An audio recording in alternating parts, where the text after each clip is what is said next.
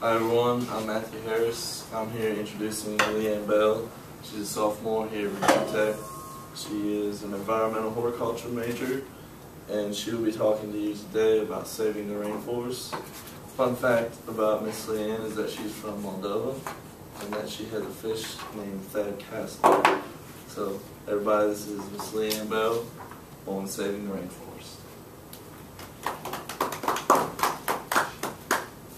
Thank, thank you um, so much for the introduction. Um, my name is Leanne. And to start off today, I'd like for just everybody to take a moment and in your head, if you could just count to six for me.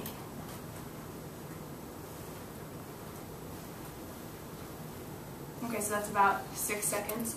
Um, and so the reason that I had you do that is because ooh, um, every six seconds, an acre of a rainforest somewhere in the world is destroyed. It's either cut down or, you know, the contract is signed that it will eventually be cut down and destroyed. Um, so six seconds, that's all it takes for an entire acre of a rainforest somewhere. So if we do the math, you know, an hour is 600 acres, 24 hours is 14,400 acres, and so on and so forth. And so every year, over 5 million acres of a rainforest is cut down somewhere in the world for a plantation, a farm, industrialization, something like that. So it is very real and it is happen happening very rapidly. Um, so lots of people advocate today um, for saving exotic species in the rainforest, saving you know, a particular species of poison dart frog or a particular species of, you know, a small mammal, things like that. But what lots of people don't understand is that in order to save a species, you have to save their environment. Um, a herd of elephants can't live on a plantation. They need the jungle environment, the prairie, the terrain to sustain them. So lots of um, campaigns like this are out there today. Save the trees, save the forests, save the wildlife, save the earth, because it is all encompassing that of the fact that you can't just focus on one aspect of a rainforest or of a jungle environment, you really do have to save everything. You have to save the exotic species, you have to save the trees, the plants, the vines, the weeds. You have to save um, and protect the soil and um, to prevent erosion. You have to protect the atmosphere, the thick nitrous air that is in a rainforest. So a couple of other species, um, this is the mountain gorilla. It is native to the Republic of Congo, Uganda, and Rwanda.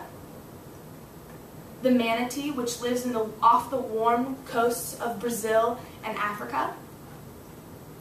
Uh, an animal that I talked about in a previous presentation, the orangutan that lives exclusively in Malaysia and Indonesia. And the Bengal tiger, which lives in India, Bangladesh, and Nepal. Uh, these are a few species that lots of people know about, you've heard about them, you're very aware, but I'd also like to touch on a couple of species that not many people may know about. Right here in the corner we have the Orinoco crocodile, which lives only in Colombia and Venezuela. Here we have the three-toed sloth, which lives only in the Brazilian basin, as well as the harpy eagle, which is found in the same area as the three-toed sloth um, in Brazil, and um, the red slender loris, loris, which lives only in Sri Lanka. So species from all over the world, rainforests that stretch from um, every corner of the earth, and all of these animals are on the endangered species list due to deforestation and the destruction of their territory, of their ecosystems. Um, and I'd now like to talk a little bit about some human faces. So these are the faces of childhood leukemia. And you may be wondering what that has to do with the rainforest and how they're related. And I'll tell you that it's this flower. This is called the rose periwinkle. It's native to southeastern Madagascar. Uh, some other um, varieties of the plant do grow in other places, places, but this specific cultivar lives only in southeastern Madagascar. That's where it grows in nature and where it grows um, the best. And it is a key component in a cancer-fighting drug called vinblastine. And this drug is relatively new, uh, five to 10 years, which you may think is a long time, but in the world of medicine, it's actually still relatively new and we're still learning lots of things about it. But it's a key component in this particular medicine and it has increased the chances of a child surviving leukemia from 10% to 95%. So that's a huge difference, uh, a huge step forward in the lives of many children that are affected by childhood leukemia, their families, their friends, their extended families. And when you look at those connections, this, this single plant is affecting hundreds and thousands of people every day. Um, and even more so, there are still things that we're learning about this plant, but it is also a key component in a supplement called Vinca. And um, if taken as a daily supplement, Vinca increases the levels of oxygen and glucose to the brain. It increases the flow of blood through your entire bloodstream. It also prevents coagulation of the blood in um, their joint areas and areas of um, strenuous movement. And it increases the level of neurotransmitter serotonin to your brain. So all of these amazing things that are sustaining your life and helping your body to live longer from this one single plant. And when you think about how much we still don't know about the rainforest and things that grow and live there, it seems almost ignorant to blatantly cut it down without knowing what it might have to offer us. I'm a firm believer that we can, you know, um, have benefits from the rainforest and, you know, take things that we need without having it all destroyed. And that way, um, these ecosystems and our societies can live in harmony, which really, to me, is the best way to solve this kind of problem. Um, unfortunately, palm oil is one of the number one things that is taking place of our rainforest in the world. Uh, palm oil is grown by a palm oil on a palm oil plantation. It's called a palm oil tree. Um, the oil is extracted from the stone fruits that the tree produces, you know, each season. And um, palm oil can be found in quite a lot of different things. It's found in your whipped cream, your coffee creamer, Nutella, sugary breakfast cereals, candy bars, some um, brands of potato chips. It's found in so many things. But when you think about it, I think that it might be more worth it to have, you know, a plant that will save someone's life as opposed to having coffee creamer in your coffee each morning. So it really is something that you have to decide. Extreme weather. You have your droughts here, if you can see it. This is a huge tornado, um, hurricane. You have terrible floods and huge snowstorms. And you may also be wondering what that has to do with the rainforest.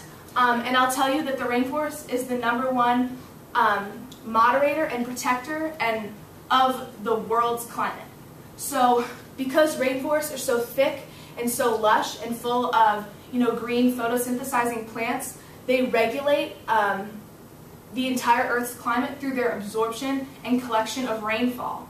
So because of the rainforest, it controls the currents in the ocean, the tides, the wind patterns and the wind currents all over the world, um, your temperatures and extreme weather like this. As rainforests are cut down, it's changing the Earth's reflectivity, which means that events like this are going to become more common. You don't usually see extreme drought or terrible floods and snowstorms and huge tornadoes like this today. They're very rare occurrences, but as the rainforest is cut down faster and faster, these types of things are going to become increasingly more prevalent and it's going to be a big problem for us. And so all of these factors, all of these species and plants and cancer-curing drugs are found in these few yellow areas in the world. You can't see some of them because of this box, but these few yellow areas are all that is left of you know, the regulation of the entire world's climate, uh, cancer-fighting drugs, and drugs that we haven't even discovered yet because we don't know what the rainforest holds, and hundreds of thousands of species, over 50% of the world's biodiversity, in these yellow spaces. So it's not too late. It's time for people to, you know, take action and um, you know, do something about saving the rainforest. Um, and I would urge you all to think about it urgently and um, to do something now and make changes because it's not too late yet, but it will be very soon. Thank you.